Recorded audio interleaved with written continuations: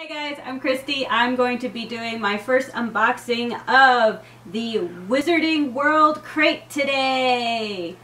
First, let's talk about the box. Um, this is done by a company called Loot Crate. I chose this one because the theme is the dark arts. Um, and as you can see, uh, by wearing my house colors and then my little uh, Funkos here, that's kind of the team I root for. So let's open up and see what's inside.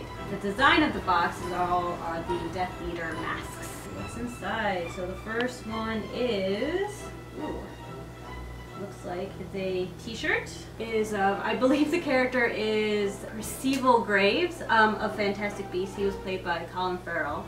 And of course it has the Deathly Hallows mark on it. Um, the next item is a stationery uh, wax stamp set to contain a wax stick, stamps, envelopes, note cards, and a velvet bag. Um, and the image underneath, the doorway into the Chamber of Secrets, a kind of blood red stick. Very nice wax. And the cards so the cards have the same um, embossed symbol as the wax stick. So let's go on to the next item. Which if you remember from um, one of the more well-known characters from Dolores Umbridge, her love of cats. And this looks like a collectible plate set done in the style of her cat obsession. This is very interesting. A pencil case. It's actually very cool because it has Azkaban prisoner numbers. I quite like it, actually. Oh, very interesting. This is actually very cool. This is Tom Riddle's um, diary. Very cool. I like it a lot, actually.